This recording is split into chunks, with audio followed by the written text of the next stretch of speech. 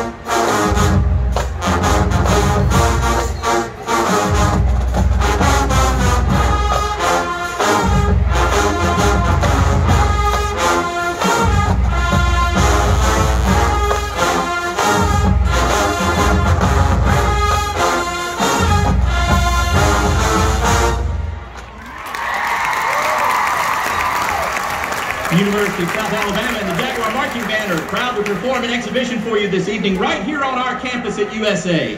We also want to take a special moment and recognize the hard work today of all the Jaguar Marching Band members on the field who've helped make the 2022 South Alabama Marching Band Championships a reality. How about a big hand for all these hardworking students?